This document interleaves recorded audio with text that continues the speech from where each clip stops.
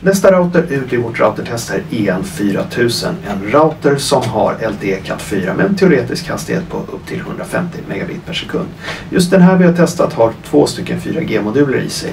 Men vi har bara testat med en 4G-uppkoppling. Och den här routern ger stabila prestanda runt 55 till 60 megabit per sekund. Det här är en extremt välpresterande router och den här har ju då en fiberport och fyra stycken nätverksportar plus en vanport.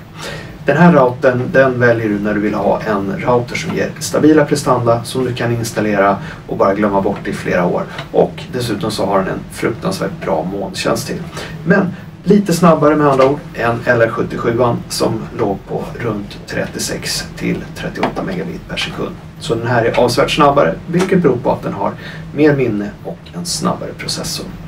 Från förra testet så har vi LR77 som placerades i runt 30 megabit per sekund och EN4000 kom upp i en bit över 50 megabit per sekund. Så vi placerar den routern där. För mer information om EN4000 besök vår hemsida www.induo.com.